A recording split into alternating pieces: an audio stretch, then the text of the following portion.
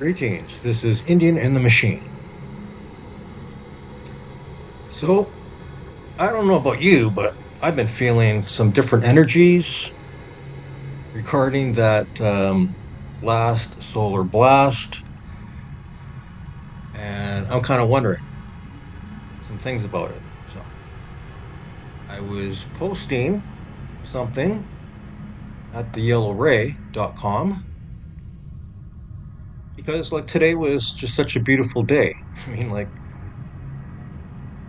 not only that, but uh I don't know, I just something is changed about me on some level. And I think it could be related to uh, the full moon after effects because we just recently had a full moon and as well the solar flash which is actually in the news folks so. Is it the solar flash? Because uh, a lot of the um, messages over the years from very credible sources do speak of a solar flash that is going to help propel humanity into a you know a step up in our energies. Okay and that comes with of course um, it's not always comfortable. Sometimes it, it is sometimes it isn't.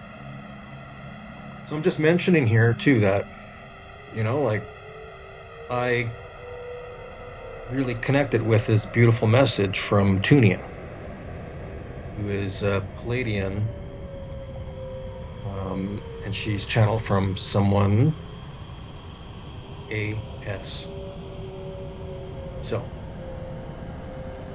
I was like, even still today, I was just riding the energies of that because I just love her words and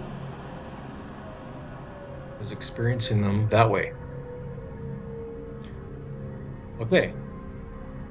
So we've got this uh, term now they're calling the last, most recent, it's just like from two days ago, a cannibal solar burst.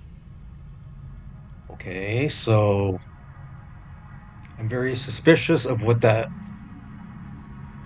you know, what that might be, but it obviously is something quite strong and it could be the solar flash or one of the steps leading towards the solar flash because uh, it has to be that humanity you know gets zapped if you will in increments rather than one just big blast of course which would be a much more difficult situation.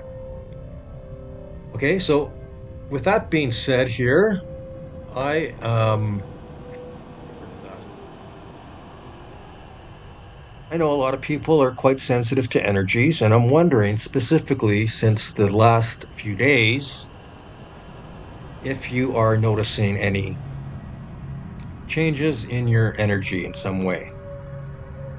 Okay. Um, this is quite natural if that's the case. Um, basically, if you're getting like, you know, you're feeling sideswiped by life, you know, you're getting hit with all sorts of challenging situations. Uh, essentially, it's there's a reason for it. Okay, and I don't know the specific reasons for it, but I know it has something to do with people needing to develop a quality which will help them on their path towards self mastery. Okay, now that's not necessarily everybody's path because some people's paths will um, they will they will uh, get uh, overloaded from these energy bursts. Okay, so these energy bursts aren't going away it's um, going to continue until we get the,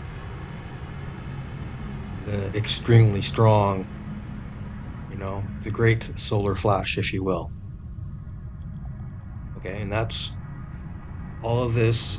Not only are we, you know, we're raising our frequencies, but at some point there's some sort of a dimensional shift that goes on where we change, everything around us changes into a higher version of itself.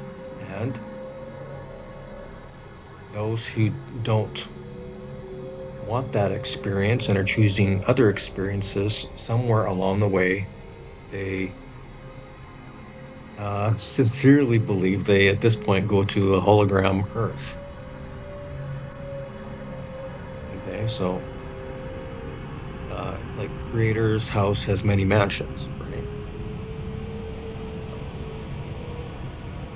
Anyways, uh, thank you for listening, um, and thank you for your comments. I'm actually quite interested because, you know, um, well, the scientist in me wants to know, you know, what are people experiencing with this stuff?